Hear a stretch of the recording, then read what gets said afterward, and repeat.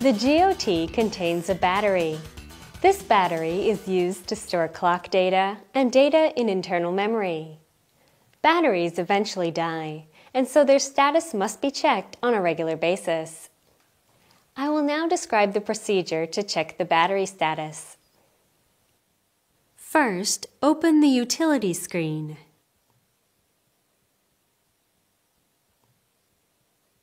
Touch Time.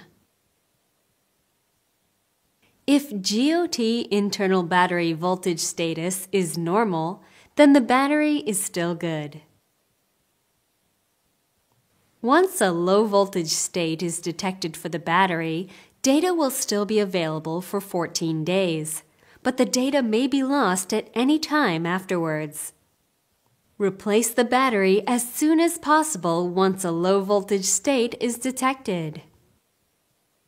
I will now describe the procedure to replace the battery for the GT2708 model.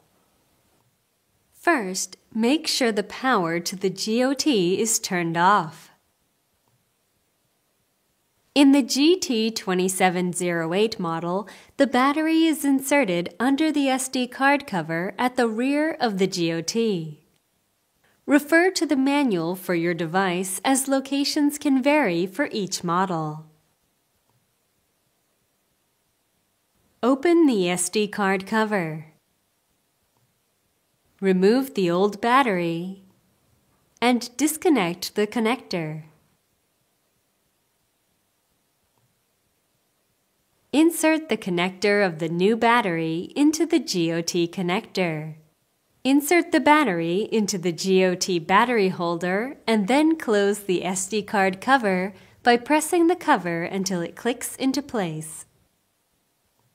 Turn on the power to the GOT. Open the utility screen and confirm that the battery status is now normal. This completes the procedure to replace the battery.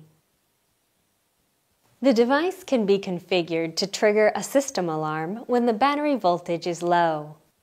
Refer to the included documentation and product manual for more information on this configuration procedure. Although GOT devices can send notifications and perform analysis when failures and errors occur in system equipment, when the GOT itself fails, it could lead to serious consequences in losing the ability to detect any system equipment errors. Keep the touch panel clean to ensure responsiveness.